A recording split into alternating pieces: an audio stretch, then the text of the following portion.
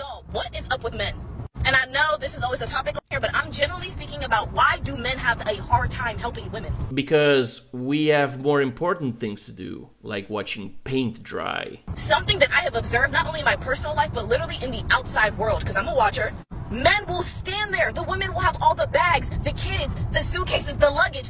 She'll be doing everything, and he's just standing there. They'll just be standing there, like just watching the woman suffer as if it brings them some kind of pleasure. Well, yeah. It's kind of like watching the same people who say they don't need men because they're strong and independent fail at being strong and independent, refuse to ask a man for help, then cry about it on TikTok. Ironic. Not just ironic, it's freaking hilarious. From my perspective, Sweetie, listen. It's 2024, not 1924. If you lovely ladies need help with anything, don't ask men. Go ask the bear. Leave me alone, please leave me alone. Leave me alone, please leave me alone.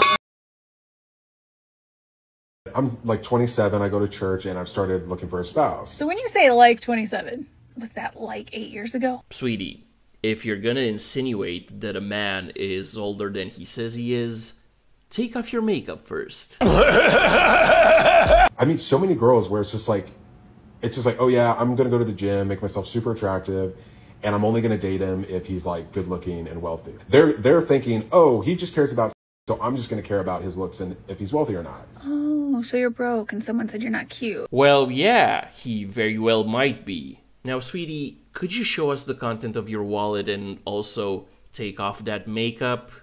It'd be a lot cooler if you did. Girls just aren't the way they used to be. They're not. Oh, shut up. Comrade, back in 2014, when my wallet and bank accounts were so empty that I couldn't even afford to pay attention, guess what? I was still getting laid because I was in good physical shape and I knew how to fight. So, if the women you want are in the gym making themselves super attractive, stop complaining on TikTok. Just like a woman. go to the gym, make yourself super attractive, and also learn how to fight because most women love feeling safe and protected. As for the whole finding a spouse and getting married thing, If you think this has a happy ending, you haven't been paying attention. Have you ever dated anyone in the military? No, I f- a lot of military guys. With the troops? I'm banging a couple of Marines right now. What? I'm banging a couple of Marines right now. Yeah. Last time I saw her, she was doing all of H&S Company. She doesn't deserve you, man. You know, a liberal? God no. but why? Well, guess what, man? We don't taste that good.